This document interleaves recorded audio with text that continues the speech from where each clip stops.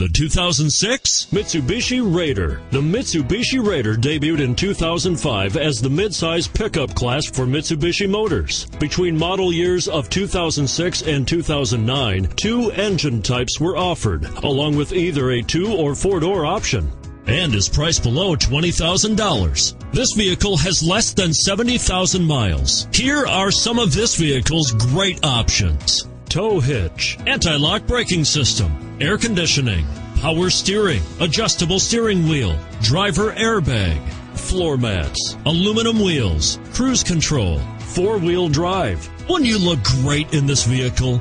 Stop in today and see for yourself.